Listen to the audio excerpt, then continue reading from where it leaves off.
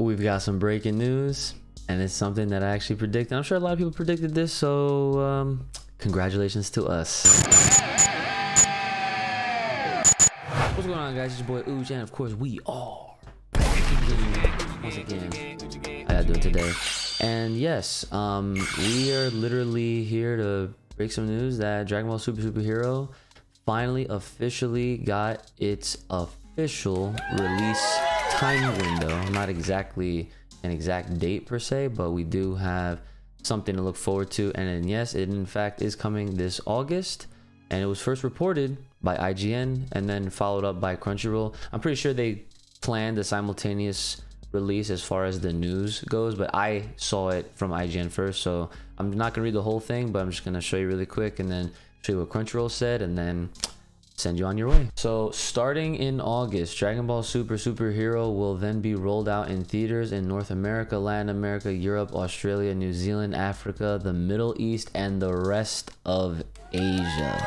So again, if you guys don't already know that it's June 11th, Japan will be getting it first. I'm probably you're probably wondering, well, will we get it um, in dubbed format as well as a subbed format and that's where we go over to crunchyroll to get that official uh, you know further confirmation of that exact thought. And right here it does say both subtitles and dubbed formats in north america latin america europe australia new zealand africa middle east and asia excluding japan will be getting the uh, dubbed and subbed version. So obviously that means that japan when it gets it next month june 11 literally a month from today that's actually crazy that they're putting it um, out like that as of right now. And there's an accompanying new trailer. I'm sure this is the same trailer that we've already seen. All right so let's check it out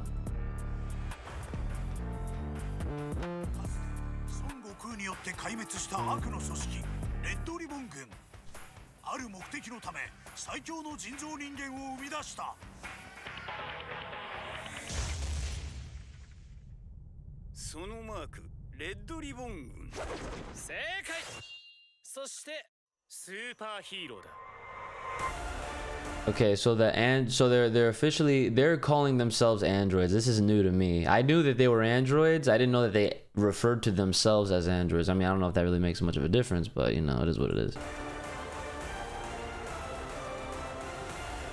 Superheroes collide to defend the world.